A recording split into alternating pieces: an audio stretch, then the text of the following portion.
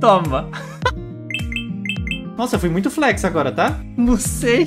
Fala galera, tudo bem com vocês? Finalmente chegou aquele momento, a gente faz isso pelo menos umas duas, três vezes no ano, onde nós estaremos falando sobre todas as novas informações sobre o set 6.5. Novamente nós tivemos o privilégio de jogar esse set, fui convidado pela Riot para jogar ele antes, para testar. E apesar de a gente não ter uma mecânica nova necessariamente, os aprimoramentos se mantêm, nós teremos muitos aprimoramentos, spoilers, são 80 aprimoramentos novos, muitos campeões saíram, muitos campeões entraram. Como vocês já sabem, o Silco vai estar presente nesse set, ele é uma lendária bem massa. Então, é... qual que é o nome do set, né? Vamos começar por aí. O nome do set é Neon Nights, ou que a gente vai traduzir para Noites de Neon, eu imagino que deva ser esse nome, certo? Então vai ser mais ou menos nessa pegada. Eu vou falar sobre todos os campeões novos, sobre todas as sinergias novas, sobre o que saiu, o que entrou. Tivemos itens saindo do jogo também, isso é um evento raro, tá? Então a gente vai estar tá falando basicamente sobre tudo. E se você tá na dúvida, esse set vai estar no PBE no dia 1, provavelmente, que seria numa quarta-feira, e no dia 16 ele vai estar nos servidores live, ou seja, você tem mais duas semanas aí para ruxar o seu Elo no 7.6 e se despedir dele, beleza? Eu peço por favor que se você gostar, você deixe seu like, se inscreva no canal e sem mais delongas, bora pro vídeo.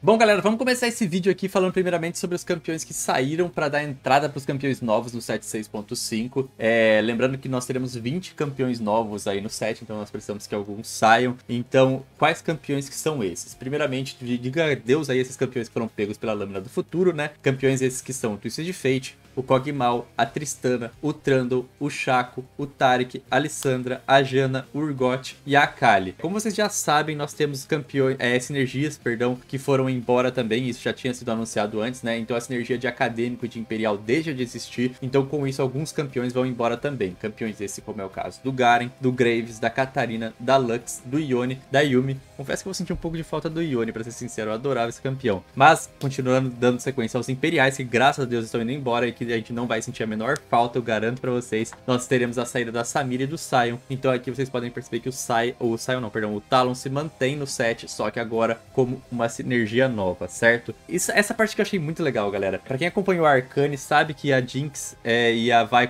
começaram a série como duas irmãs, né, muito próximas, e ao longo da série elas meio que foram se distanciando, e eles decidiram meio que fazer uma lorezinha em torno disso. Então, no set 6 elas tinham sinergias de irmãs. Nesse set elas deixam de ter essa sinergia de irmãs para ter uma nova sinergia que agora se chama rivalidade, rivais, na verdade. Então, esperem por Jinx e a vai manter uma sinergia que se comunicam, mas agora um pouquinho diferente. E isso eu achei muito legal. A Vai, por exemplo, deixa de ser um campeão de custo 2 para ser um campeão de custo 4, e eu já adianto para vocês que é um campeão que eu achei muito interessante, certo? Então essa ideia aqui eu achei muito legal também. Nós temos alguns campeões que vão se manter pro set, certo? Que apesar da saída das sinergias deles, eles vão se manter como sinergias novas, que nem é o caso do Talon que eu tinha mencionado. Então quais são esses campeões que conseguiram aí resistir para as noites de Neon? Nós temos cinco, que são a Leona, o Talon, o Swain, o Kassadin e o Blitz. Esses campeões, apesar da saída de suas sinergias, ou seja, de protetores, de acadêmicos, de imperiais, eles conseguiram resistir para o set 6.5, certo?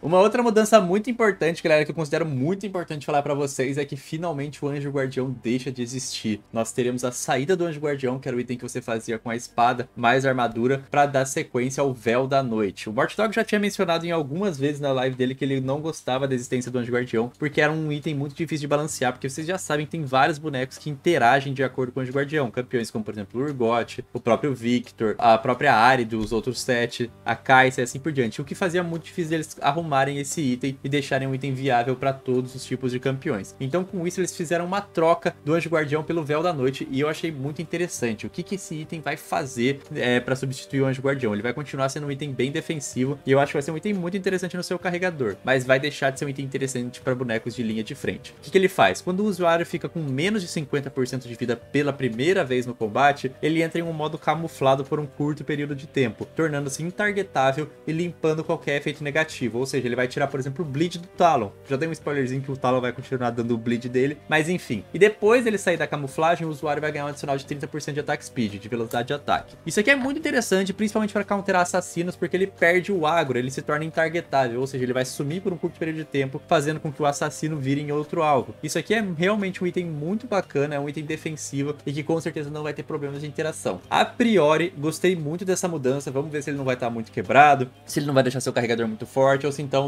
não vai ser um item muito fraco. Mas a princípio me pareceu um item bem, bem, bem interessante, certo? Então é isso, o Anjo Guardião deixa de existir para dar lugar aí para a existência do Véu da Noite. Bom, antes de falar sobre todos os campeões do set, sobre cada habilidade e tal, vamos primeiramente falar sobre as sinergias novas. Nós temos rework e algumas sinergias antigas e também nós temos a entrada de sinergias novas, certo? De sinergias antigas que nós teremos algumas mudanças, nós temos primeiramente a sinergia de Socialite, onde agora nós teremos cinco Socialites, nós temos um, dois, três e cinco. O que acontece aqui de diferente é que cinco Socialites vai ter todos os efeitos dobrados. Então com um você tem 15% de dano extra, com dois você ganha 3 de mana por segundo, com 3 você se cura em 30% de todo o dano causado e com 5 todos esses efeitos vão ser dobrados. Então se você conseguir 5 Socialites, vai ser um efeito muito forte em um dos seus carregadores. Eu acho que eles fizeram isso aqui por conta de você ter a existência do aprimoramento prismático, que era muito ruim antigamente e agora ele vai passar a ser, no mínimo, interessante. As peças que vão fazer essa parte dessa sinergia agora são o Nar, a Senna, a Serafine e o Galho, certo? Então de Socialite aqui que nós temos mudanças, nós temos o Tarek e qual que era a outra? Nenhuma, né? É só o Tarek que a cena entrou no lugar, se eu não me engano. Os Colossos nós tivemos uma mudança também. Particularmente eu acho que isso aqui é uma mudança só para eles conseguirem balancear melhor. Infelizmente os Colossos se mantêm no set. Isso aqui é uma das minhas principais queixas, a existência de Colossos, Yordles e Mercenários. Mas de qualquer forma, o que acontece aqui é que os Colossos eles são maiores, eles são mais poderosos, eles são imunes a controles de grupo. Antes não tinha essa parte do texto, tá? Que Colossos ganham mil de vida. No entanto, cada Colosso precisa de dois espaços no seu time. E caso você tenha dois campeões Colossos no campo, você recebe 25% de dano reduzido. Não tinha no texto antes falando que eles ganhavam mil de vida, certo? Então agora eles vão fazer isso aqui provavelmente para tentar balancear um pouquinho melhor os colossos. Com a saída do Sion, nós temos a entrada de um campeão novo, campeão esse que é o Alistar. Já adiantando para vocês, ele tem o combo fofo, ele dá o WQ basicamente no time oponente, certo? Então os colossos vão ser o Alistar, o Shogaf e o Galho nesse caso. Falando agora sobre as novas sinergias que nós teremos nesse set, nós temos cinco sinergias novas. Primeiramente a sinergia de Hextech, que eu imagino que não tem a tradução, a sinergia de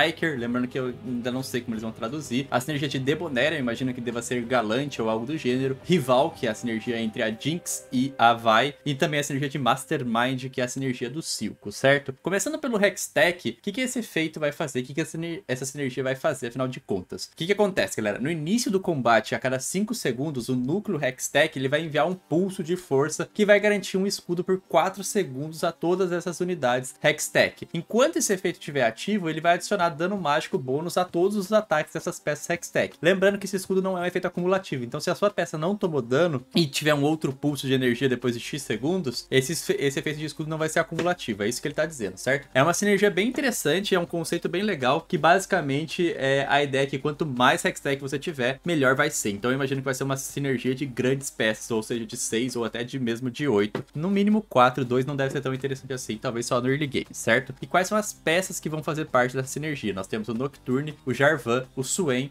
a Sejuani, o Lucian, o Alistar e a Sivir, certo? Esses são os campeões que fazem parte da sinergia de Hextech. Falando agora da sinergia de Striker, é, a sinergia é uma sinergia bem preguiçosa, na verdade ela é bem simples, não tem muito segredo. O que acontece? Strikers ganham danos de ataque bônus. É isso, simples assim, reto, direto. Se você tem 3 é 50, se você tem 5 é 90, se você tem 6 é 160 e assim por diante. E quais são as peças que fazem parte da sinergia? O Jarvan, a Rek'Sai, o Nar, a Irelia e a Sivir. Pronto, é simples, já bora pra próxima, porque essa é uma das sinergias mais é, enxutas que eu poderia fazer, assim, mais simples de todas, certo? Falando agora da sinergia dos galantes, que são os Debonairs, essa sinergia aqui ela é um pouco complexa e ela traz um pouquinho do efeito de Chosen de volta, digamos assim. Os campeões que são galantes, eles ganham vida e AP extra que aumentam em 357, que é uma sinergia de 357, certo? Se existe um Debonair galante, que é o VIP, eles são chamados de VIP, certo? Em jogo, ele vai ativar seu bônus único. Qual é a ideia aqui, galera? A ideia é igual ao Chosen. Se você tem um campeão que já é VIP, vai aparecer na lojinha assim um boneco circulando em volta, tipo, sei lá, por exemplo, nós temos o Brand, o Talon, a Syndra, a Leona, o Draven e a Zeri. Vai aparecer um Brand VIP, que vai ser um igualzinho o efeito de Chosen, de escolhido, digamos assim. Se você comprar ele, seu Brand vai ter a habilidade normal dele, mais um efeito adicional que vai estar escrito, efeito de VIP. Ah, seu, sua habilidade vai dar 200 de dano a mais, algo assim, tô supondo, certo? Depois a gente vai ver qual é o efeito VIP e tal, bonitinho, certo? Essa é a ideia por trás disso. Só que você só pode ter um VIP por partida, perdão, por, é, no campo. Então, se você quiser procurar por um outro campeão VIP que é galante, você vai ter que vender o seu para procurar por outro. Ah, quero achar um Draven VIP. Você vai ter que vender o seu brand VIP e roletar procurar até vir um Draven com esse efeito adicional, certo? Então é simples assim, a peça ganha HP e, e, poder de habilidade extra, e o seu campeão VIP vai ter um efeito de habilidade adicional único. Por exemplo, no caso do Talon, o sangramento causa dano verdadeiro. O Talon é igualzinho, ele tem o bleed dele, certo? Só que se ele for VIP, ele vai causar dano verdadeiro. O Draven ganha alcance infinito e ignora parte da armadura do alvo. E assim por diante. A Leona, ao usar a habilidade, ela se cura para cada inimigo tendo ela como alvo. Essa é a ideia do, vi, do VIP, do VIP, né? Digamos assim, que é justamente trazer um pouquinho aquela ideia de escolhido de volta, certo? Falando agora das sinergias únicas, que é a rival e a Mastermind, nós temos a sinergia de rival, que é a sinergia entre a Jinx e a Vi. Essa sinergia ativa quando você tem exatamente uma única unidade rival, ou seja, rivais nunca trabalham juntos. A ideia é justamente essa. Então a Vi e a Jinx, você nunca quer colocar elas no campo juntos. Antes você queria colocar as duas juntas para provocar um efeito adicional, agora você não quer. É igual o efeito de ninja, digamos assim. A Vi, ela garante 20% de redução no custo da habilidade dela, e a Jinx ganha 40% de velocidade de ataque por 3 segundos depois de realizar um abate. Eu achei essa ideia aqui sensacional de acordo com a lore de Arcane, realmente achei muito boa, certo? Agora a sinergia do Silco é a sinergia de Mastermind, que no início do combate, o Mastermind dá aos seus dois aliados diretamente à sua frente, as duas peças que estão na frente do Silco, vão receber 40% de, da mana máxima deles no início do combate. É uma sinergia bem legal, já adianto pra vocês que o Silco não é um carregador, na minha opinião, e sim uma peça suporte, assim, que manipula o seu time para fazer jogar de acordo com ele, certo? Meio que uma marionete, digamos assim, certo? Essas são as sinergias novas que nós temos nesse set 6.5, beleza, galera? Bom, galera, agora que a gente já falou sobre uma introdução, a gente já falou dos itens que saíram, das sinergias também que entraram, também saíram, né? Vamos falar um pouquinho sobre os campeões novos, que na verdade são 20, se eu não me engano. Temos alguns campeões bem interessantes, tá? Vamos começar pela ordem de custos, que eu acho que vai ser bem melhor, certo? Então a gente vai começar aqui falando primeiramente sobre o Brand, ele é um custo 1, ele é Debonair e Arcanista, certo? A habilidade dele é bem simples, é bem parecido com, o Brand atual, que é o Brand atual, né? Que tinha no set anterior, vocês entenderam? Ele dispara dispara uma bola de fogo no inimigo mais próximo, acendendo em chamas. Aí ele vai causar um dano mágico naquele inimigo, e se esse inimigo já estiver em chamas, ele vai receber um danos bônus adicional. E também vai ser atordoado. Então ele é bem parecido com o Brand do LoL, né? Se ele soltar uma skill e eles conseguir soltar outra no boneco, ele vai causar um stunzinho. Na verdade ele não é muito parecido com o do set passado, né? Mas é que quando eu joguei com ele parecia, tá? E lembra sempre que eu falei pra vocês que todos os campeões Debonairs têm um bônus VIP, que é quando você encontra ele na forma escolhida, digamos assim. O bônus VIP basicamente o Brand dispara uma segunda bola de, bola de fogo no inimigo mais distante. Então, se você conseguir um Brand VIP, ele vai ter esse adicional na habilidade dele, certo? O Jarvan é um costume Hextech e Striker, e a habilidade dele é bem comumzinha, é bem aquele Jarvan que a gente está habituado. Ele arremessa a lança dele, né, o estandarte, em um local próximo, garantindo aos aliados velocidade de ataque por 5 segundos. Só que diferente daquele daquele Jarvan que a gente tá habituado, ele era protetor, e era isso que fazia ele tão quebrado. Então acho que esse aqui não vai ser um problema tão grande. Lembrando que ele faz parte da sinergia de Hextech, né? Então ele vai ser um ótimo complemento para composição. Uma outra peça que é Hextech também, nós temos o Nocturne, que é Hextech e Assassino. Já adianto pra vocês que vocês podem perceber que a gente tem duas peças assassinos de custo 1, né? Que é o Nocturne e o Twitch. Slowhole vem forte. Bom, o que, que o Nocturne faz? Ele é aquele Nocturne parecido com o do Máquina de Combate. Ele vai aterrorizar o alvo, atordoando com terror por 2, 3, 4 segundos e causando dano mágico durante a duração. É igualzinho aquele Nocturne que era a máquina do combate, uma pecinha bem simples de custo 1. Próximo campeão nós temos a Ashe de custo 2, que ela é transgressora e atiradora de elite. Nós teremos um atirador de elite que é transgressor agora, e a habilidade dele é o vôlei, dela, né? É o vôlei. Que ela vai disparar uma rajada de flechas de 5, 7, 9 centralizadas no alvo que ela tá batendo, causando 100% do seu dano de ataque do, como forma de dano físico por flecha e reduzindo também a velocidade de ataque do inimigo em 25% por 3 segundos. Achei uma peça muito legal, tá? Eu achei ela bem interessante, eu tô curioso para ver se ela vai ter algum potencial como carregadora, mas imagino que não, imagino que ela vai ser um suporte para os atiradores de elite aí para reduzir a velocidade de ataque do time oponente, certo? Próximo campeão é o Cork, ele é um Yordle e cano duplo, lembrando que nós tivemos a retirada do Heimer, se eu não me engano. É, e assim, eu testei, eu tentei fazer uma comp de Cork Carry, mas não rolou não, mano, eu achei ele muito podre. De qualquer forma, o que ele faz é o ult dele, ele dispara um míssil no alvo que explode no impacto, causando 250, 300, 500 dano mágico para inimigos próximos, tá? Eu não gostei dele não, ele é uma peça bem simples, não tem muito segredo aqui nesse caso, tá? Mas de qualquer forma, é isso. Ele é um Yordle e cano duplo também, certo? Próximo campeão é a Rek'Sai, custo 2 também, Mutante e Striker. Lembrando que... Qual mutante que saiu mesmo? Acho que era o Mundo que também saiu. Saíram dois mutantes, se eu não me engano. E o Kog, verdade, exatamente, o Kog. A habilidade da Rek'Sai é a mordida dela, certo? A Rek'Sai vai morder o alvo, causando 175% do seu dano de ataque e roubando 30, 40, 60% da armadura e resistência mágica alvo. Lembrando que pela Rek'Sai ser Striker, ela já tem um dano de ataque adicional, e então isso sinergiza diretamente a habilidade dela. E a Rek'Sai pode muitas vezes ter o buff de mutante de executar, que na, basicamente ela vai garantir uma, uma eliminação só de usar Ultimate. Quem jogou de Rek'Sai Predadora sabe do que eu tô falando, mas aqui nesse caso a habilidade do Rek'Sai é bem simples. Ela vai morder um alvo, reduzir a resistência mágica e a armadura do alvo que ela mordeu, certo? Até agora esses campeões estão bem simplesinhos, é que a gente tá no de custo baixo, certo? Próximo campeão é a Sejuani, que ela é Hextech, Enforcer e Brutamontes, certo? Ela é tripla sinergia, a Sejuani tá muito forte. Se eu não me engano, tem um outro campeão Enforcer que é custo 2 também, que você consegue combar, é, e Hextech, não lembro agora, mas tem um campeão que comba diretamente com a Sejuani. A Sejuani, o que ela faz? Ela assinala o Bristol, que é o porco dela, para avançar, causando 300, 450, 750 de dano mágico e atordoando esse alvo. Depois disso, ela vai ganhar uma armadura congelada, garantindo armadura e resistência mágica por segundo. Então ela é uma peça que vai causar um controlezinho de grupo e também é, vai tancar um pouquinho, certo? O que é mais importante aqui no caso dela é que ela é tripla sinergia e isso aqui vai fazer com que ela rode em várias composições. Próximo campeão é a Syndra, que ela é galante intelectual. Então, o que, que ela faz? É a Syndra passada, gente. Eu odeio essa Syndra, mas ela voltou o counter dos assassinos. Ela arremessa o inimigo mais perto ao mais distante, causando 250, 350, 650 de dano mágico a todos os inimigos próximos do impacto. O alvo arremessado é atordoado. Ela tem o bônus de VIP também, caso você consiga, que a área do impacto vai ser maior e todos os inimigos afetados são jogados para cima por 1.5 segundos. Parece muito forte, mas eu não sei se você quer gastar o seu VIP num campeão suporte certo? Então é uma coisa a se pensar também. Indo agora para os campeões de custo 3, nós temos o Nar, que ele é Yordle, Striker e Socialite, certo? O Nar eu tava achando que ele ia ser bem interessante, bem quebrado por ser custo 3, mas eu achei ele bem bosta no fim das contas. É, o que acontece é que ele vira o Mega Nar pelo resto do combate depois que ele farma mana, só que ele não garante o ultimate que, igual antes, né? Antes você podia deixar o Nar solo frontline que ele conseguiu ultar, e ele não vai ter o combo dele de empurrar todo mundo, ele é bem diferente aqui nesse caso. Ele joga a rocha dele, a habilidade de jogar a rocha até o inimigo mais distante, causando dano baseado no AD dele, de forma de dano físico a todos os inimigos que essa rocha atravessar. Então a rocha atravessa.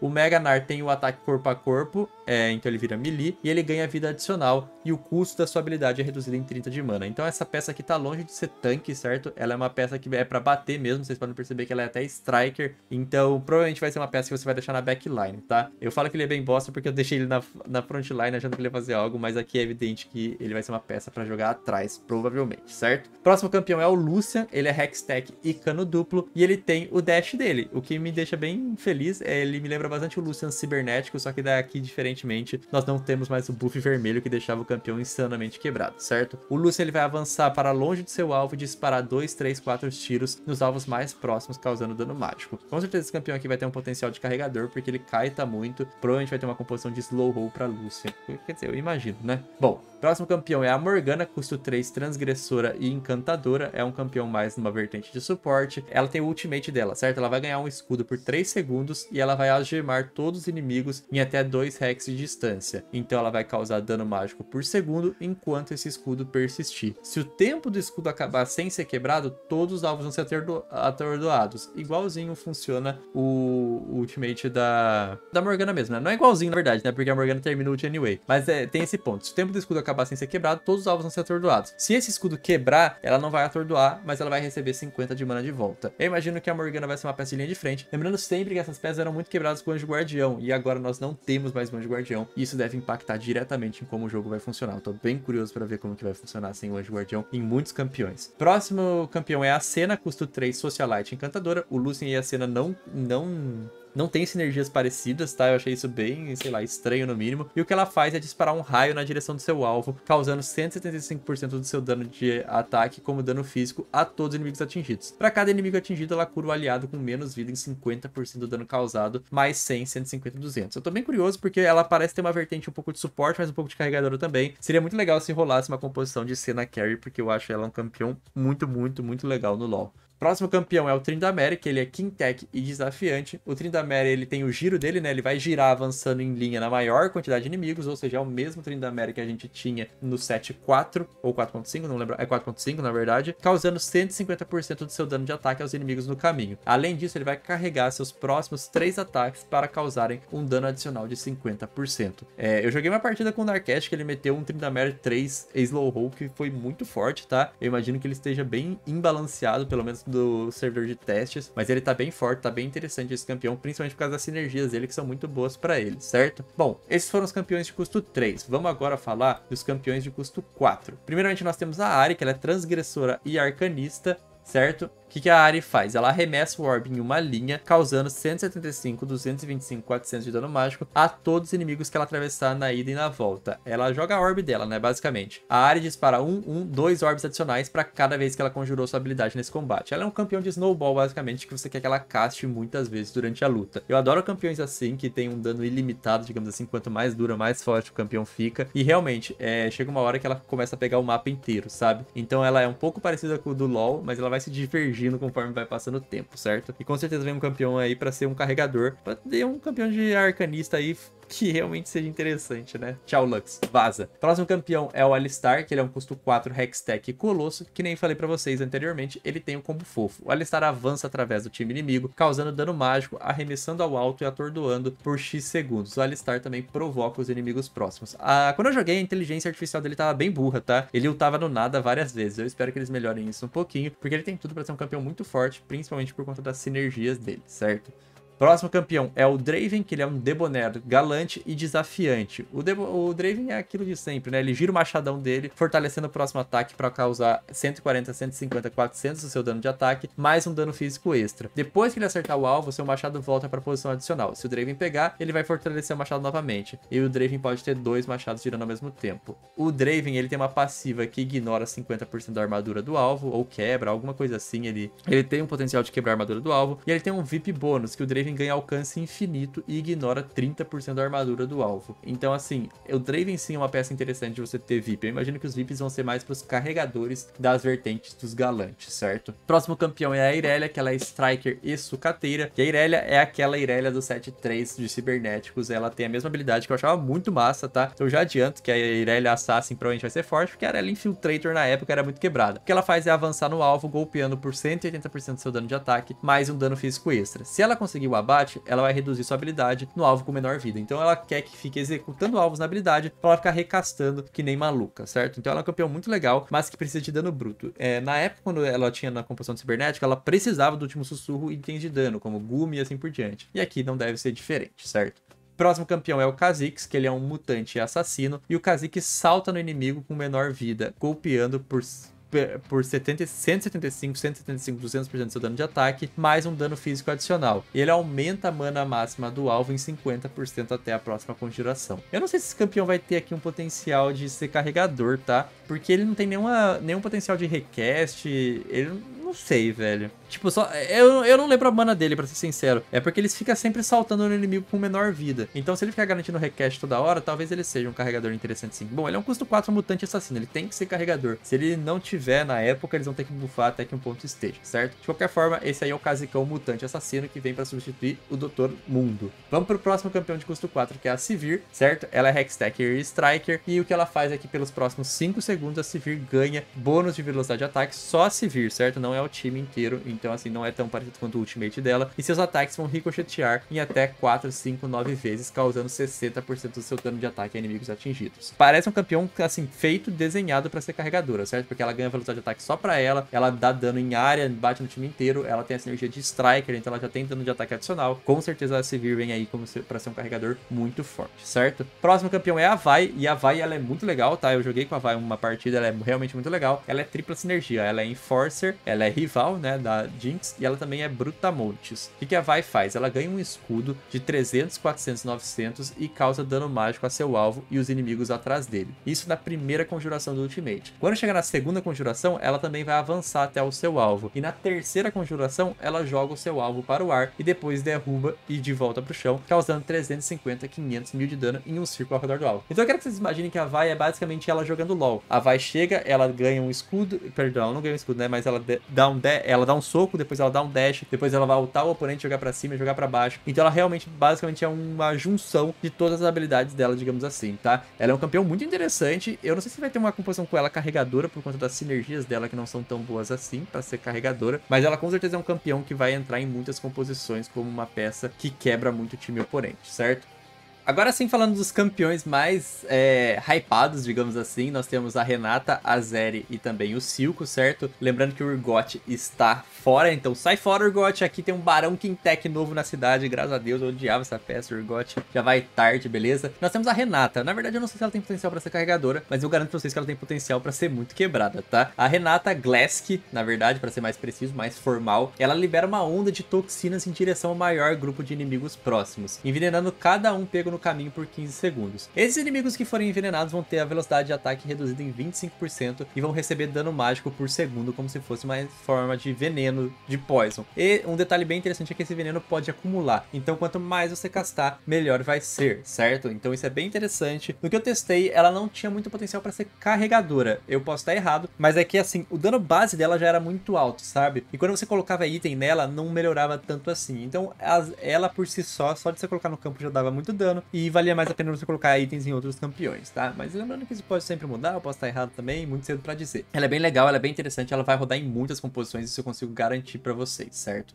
Próximo campeão é a Zeri ela é um campeão, para quem não sabe, jogou no LoL, ela é um campeão que não dá muito dano, na verdade, mas ela bate muito rápido, ela tem muita mobilidade, certo? E o que ela faz? Ela primeiramente tem uma passiva, onde os ataques básicos da Zeri disparam 5, 5, 30 balas na direção do inimigo, cada uma causando 16% de dano de ataque como dano físico, mais um dano mágico adicional para a primeira unidade atingida. Essa é a passiva da Zeri. Ela tem uma habilidade que ela carrega a si com 6 de eletricidade, enquanto ela está eletrificada, ela vai conseguir mirar no inimigo mais distante, ou seja, ela tem uma forma de target inteligente aí. Seus ataques agora penetram todos no caminho e ela avança a cada disparo. Ela tem um bônus de VIP, porque ela é o Debonair, certo? Então ela, caso você consiga um campeão custo 5 Debonair, VIP no caso, quando Zeri ela é escolhida como VIP pelo seu shop, a sua nova elétrica tem o alcance dobrado. A Zeri é um campeão muito legal, tá? Pelo, só você colocar ela no campo, você tá ligado já que ela é muito massa. Ela é um campeão de muita mobilidade, que ela fica dashando o tempo inteiro e ela fica caetando o time oponente o tempo todo, certo? Então isso é muito legal. Independente dela ser quebrada ou não, ela foi uma ótima aquisição pro TFT, porque ela realmente realmente, assim, é aqueles campeões que dá gosto de assistir, sabe? Campeões tipo a Kali, sei lá, pelo menos eu. Eu acho a Kali muito massa, o conceito dela de sair dashando, espancando geral. Bom, essa é a série, certo? Ela é um campeão muito da hora, pelo menos eu gostei bastante. Próximo campeão é o Silco. Próximo e último, na verdade, né? É o Silco, que é o chefão, digamos assim, do da série Arcane, para quem não assistiu, eu recomendo que assista, porque é muito boa. O Silco ele aplica uma injeção instável em um aliado com a menor porcentagem de vida, garantindo a ele 100% da sua vida adicional, velocidade de ataque adicional e imunidade a controle de grupos por 8 segundos. Quando esse efeito insanamente poderoso for expirado, essa poção vai acabar, causando que a unidade instável morra e exploda, causando dano mágico aos inimigos próximos, certo? Além da habilidade dele, ele tem a passiva de Mastermind, né, que nem eu já tinha falado anteriormente, onde ele pega as duas peças na frente dele e usa elas como marionete, digamos assim. Acho que é um pouquinho desse conceito, né? Porque ele controla a galera. E ele vai aumentar a mana máxima dessas peças em 40%. Então vocês podem perceber aqui que o Silco ele tem uma propriedade muito de suporte. Ele buffa um aliado que tá prestes a morrer e do nada esse aliado vira um titã. Ele dá mana para duas peças na frente dele. E o AP Scale dele, no caso, só aumenta o dano da explosão. Então você não pode buildar um Silco com AP,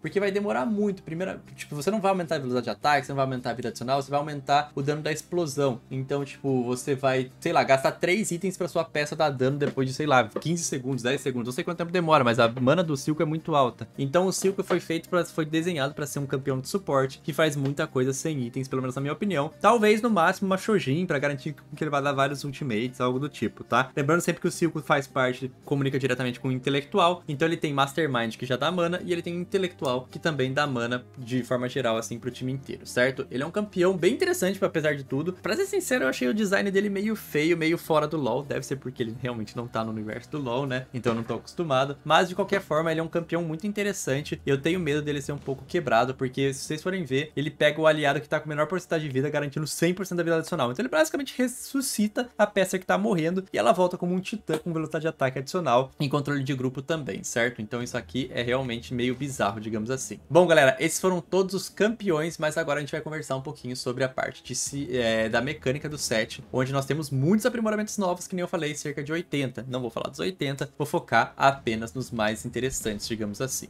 Bom, galera, vamos falar agora sobre os aprimoramentos. Não precisa nem mencionar, né? Mas vou falar de qualquer forma que alguns aprimoramentos vão embora, como por exemplo o Coração dos Acadêmicos, Coroa dos Acadêmicos, Noite dos Estudos, que falava diretamente com acadêmicos, todos os aprimoramentos imperiais e os, e os aprimoramentos de protetores também, certo? É, nós temos muitos aprimoramentos novos no jogo. É, nem, na verdade, nem eu vi todos, tá? É, eu Assim, eu separei não, né? Eu tô com a lista aqui de todos. E eu vou falar de alguns que eu achar mais interessantes, certo? Começando, por exemplo, por um prata, que é muito interessante. Parece bastante para quem jogou Hearthstone com uma carta Hearthstone, que é é o Recombulator. Nem sei como que vai estar traduzido isso, mas enfim. O que, que acontece? Campeões do seu tabuleiro de forma permanente se transformam em um campeão que custa um a mais. Então, assim, se você tem campeões de custo 2, todos os campeões é, vão se transformar em campeões de custo 3, por exemplo. Ganhe 3 removedores magnéticos a, além disso, certo? Tem um plusinho. E tem um comentário que ele fala: pô, isso faz eu me sentir que se eu conseguir pivotar e vencer com as novas unidades, eu vou ser um gênio. Mas se eu for de oitavo, eu posso pôr a culpa no RNG, por exemplo. É um argument bem for fun, digamos assim, e que com certeza vai ser muito quebrado se você conseguir usar direito, sei lá. Porque eu não lembro agora, mas se você conseguir tirar as peças do seu campo e pegar esse aprimoramento no intervalo, vai ser totalmente quebrado. Eu acho que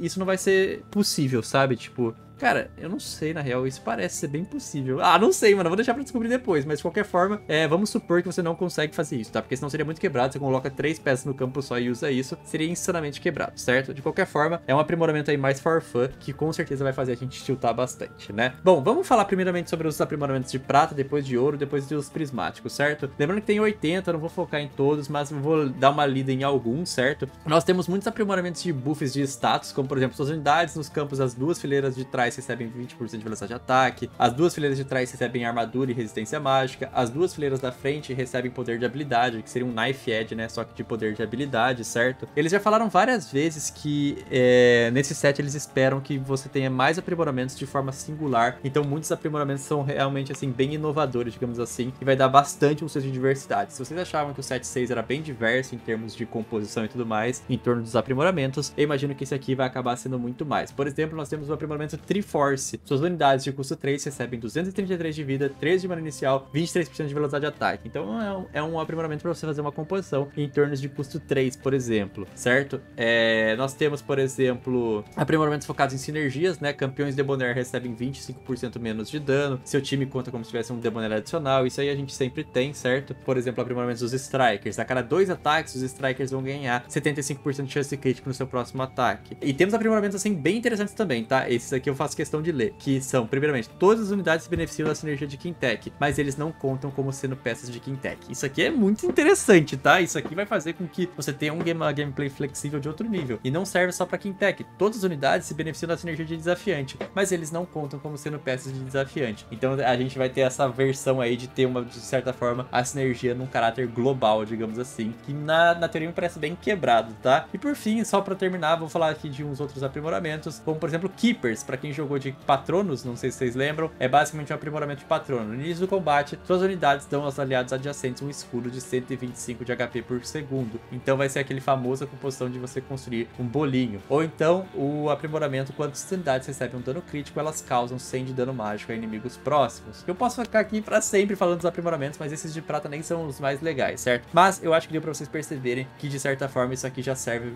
para vocês perceberem que vai mudar muito do jogo, vai ser bem diverso e tá bem diferente dos aprimoramentos do 7.6 para esse set agora que tá entrando 7.6.5, beleza? Bom, começando agora sobre os aprimoramentos de ouro, né, que são os intermediários, digamos assim. Nós temos alguns interessantes. Primeiramente nós temos ah, aprimoramentos de, como que eu posso dizer, de recurso. Esses aprimoramentos tem em todos os níveis, tá? No de prata mesmo tem, mas no de ouro também, que você só que vai escalando, né, logicamente. Onde, por exemplo, tem um aprimoramento que você recebe dois orbes azuis e um cinza, ou você recebe dois campeões duas estrelas de custo 2 aleatórios, ganhe três campeões de custo 4 aleatórios. Eu espero que isso aqui não possa aparecer como primeiro aprimoramento. Ou talvez apareça, mas vai ser muito quebrado, porque, tipo, pô, três campeões de custo 4 no 1-4, sei lá, parece meio quebrado. Ganhe três componentes de itens aleatórios e assim por diante. Vamos falar agora dos interessantes mesmo. A gente tem um aqui que não tem como não falar, que é o Future Sight, que é a visão futura, né? Visão do futuro, algo assim. Que basicamente o que faz, galera? Me parece muito quebrado, já adianto para vocês, tá? Basicamente você vai saber contra quem você vai lutar na próxima rodada. Você sempre sabe quem é o seu oponente, mas tem um detalhe, você vai receber uma Zéfiro, o que faz com que o seu posicionamento seja muito importante. A partir do momento que você sabe quem você vai enfrentar, você consegue colocar a Zéfiro exatamente no oponente. Esse aprimoramento parece bem interessante porque além de tudo você recebe um item a mais, sem considerar isso, e a Zéfiro não é um item ruim de forma alguma. Eu só imagino para quem faz live que talvez não seja tão interessante porque consegue fazer o efeito reverso. Você sempre sabe quando você vai cair contra o cara que tá streamando, né? Mas de qualquer forma faz parte, vai.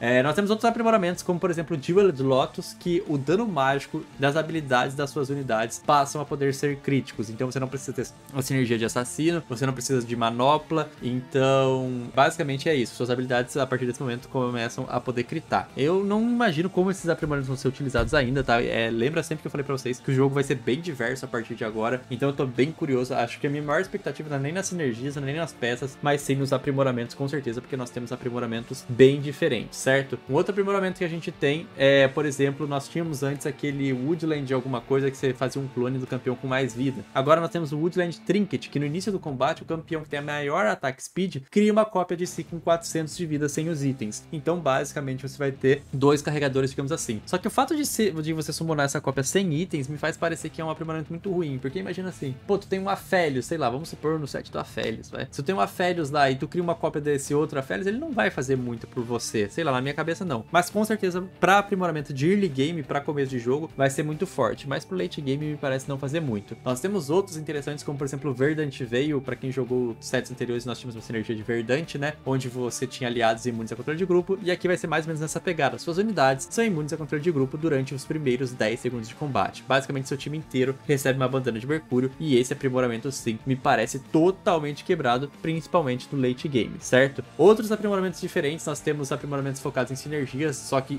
meio que diferentes, não é tipo assim, ah, recebe um Yordle a mais, vamos lá. Yordles livres vindos de portais, na verdade, tem 35% de chance de trazerem um componente de item com eles. Além disso, você recebe uma Lulu. Pô, isso aqui parece muito quebrado. Tu já tem recurso adicional dos Yordles, tu vai receber uma Lulu, já recebe 2 de gold. E além disso, tu tem 35% de chance de receber um componente todo round. Pô, sei lá, velho. Eu não consigo enxergar esse aprimoramento como não insanamente quebrado, certo? Só que tu precisa ter Yordle em campo, né? Esse é o ponto negativo, digamos assim. Outros aprimoramentos interessantes, como por exemplo, quando um aliado morre, eles doam o efeito de VIP da sinergia de Debonair dos Galantes, 40% da sua vida máxima para o resto do combate, certo? Então quando um aliado morrer, eles, vai, eles vão doar ao VIP 40% da sua vida máxima para o resto do combate. Então vocês estão percebendo que nós temos aprimoramentos focados em sinergias, mas não é simplesmente, ah, recebe tal peça. Não, eles fazem um efeito adicional bem diferente com o que faz com que você tenha que pensar para jogar em volta disso, certo? Então essas coisas são bem legais, são bem interessantes nos aprimoramentos. Acho que de diverso mesmo, nós temos nós temos aqueles aprimoramentos que eu falei anteriormente, que escalam de acordo com a, o nível de aprimoramento que você tem. Então, aqueles que eu falei que você recebe velocidade de ataque nas suas fileiras de trás, vai ter aqui também, só que vai ter nível 2, ou seja, mais velocidade de ataque. Mesma coisa para mais armadura, mais resistência mágica, e assim por diante. Então, nós temos muitos aprimoramentos também que são escalados, né, digamos assim. Mas também temos muitos aprimoramentos exclusivos. Chegada a hora, vamos falar sobre os mais interessantes, digamos assim, os que realmente, tipo, impactam, assim, que são muito diferentes, que são os aprimoramentos prismáticos, certo? Que são os aprimoramentos mais divertidos, digamos assim, apesar de eu passar muita raiva com eles, competitivamente falando, eles não são saudáveis, mas para visão casual eles são muito interessantes. Nós temos alguns diferentes. Lembra aquele que eu falei que vocês podem enfrentar, vocês sabem quem você vai enfrentar e ganhar uma Zéfiro? Aqui nós temos um mesmo aprimoramento, só que escalável. Em vez de você ganhar uma Zéfiro, você ganha uma Zéfiro Radiante. Eu não sei se vocês lembram o que a Zéfiro Radiante faz, para quem jogou o 7.5.5 com certeza lembra, mas basicamente tu levanta a peça do cara por tempo infinito, digamos assim. É muito tempo, eu nem sei dizer quantos segundos que fica de fora, mas é no mínimo um efeito duplicado da Zephyro. E você saber com quem você vai enfrentar e conseguir levantar esse time do oponente é no mínimo tiltante. Se eu tomar uma Zephyro porque o cara sabia que ia cair contra mim, eu vou ficar maluco, tá ligado?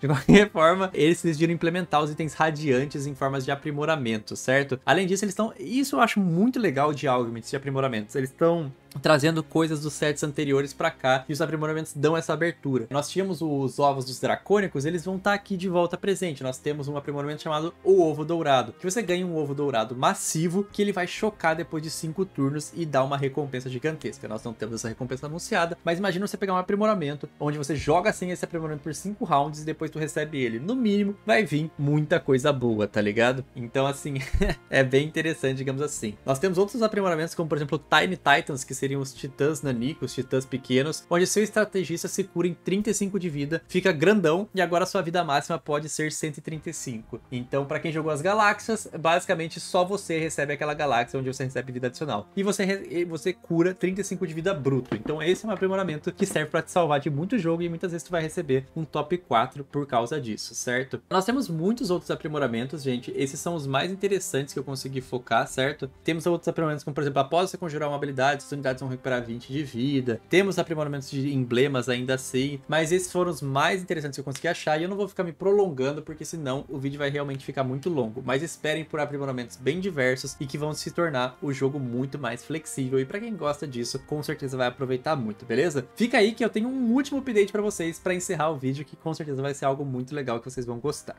Bom, galera, por fim, e para encerrar o vídeo, graças a Deus, eu tô muito feliz com essa notícia, não vai ter mais gente perguntando qual é o seu Scout, Tex? Qual o seu aplicativo que você usa para saber quem você vai enfrentar? Chega de MetaTFT, chega de Blitz GG. Finalmente eles decidiram implementar no jogo o Scout. É, agora você vai saber, sem uso de aplicativos, quem são os três oponentes possíveis de você enfrentar, certo? Isso aqui é um ótimo update para a qualidade de vida do jogo, certo? Isso aqui está implementado no jogo de agora em diante, então você não precisa mais de aplicativos secundários para saber quem são os três possíveis oponentes que você pode enfrentar. Talvez isso ainda não não esteja nos servidores de teste, mas com certeza vai estar presente para o live, certo? É, então isso aqui é uma, um update muito legal para a qualidade de vida do jogo, eu fiquei bem, bem feliz com isso aqui, porque realmente muitas pessoas não, não têm conhecimento né, de tracker, de aplicativos secundários, pessoas do mobile saem, saem prejudicadas com isso, então é realmente muito bom que eles decidiram trazer isso aqui para o jogo já implementado, certo? Bom galera, eu acho que com isso eu encerro minha apresentação sobre o 7.6.5, eu espero que vocês tenham gostado, eu espero que tenha trazido um pouco de ânimo para vocês, que vocês estejam ansiosos pelo 7 6.5. Temos campeões muito legais, temos sinergias interessantes, mas o meu hype mesmo vai ficar aí na parte dos aprimoramentos, beleza? Se vocês gostaram, eu espero que vocês deixem seu like, se inscrevam no canal, tamo junto, até lá!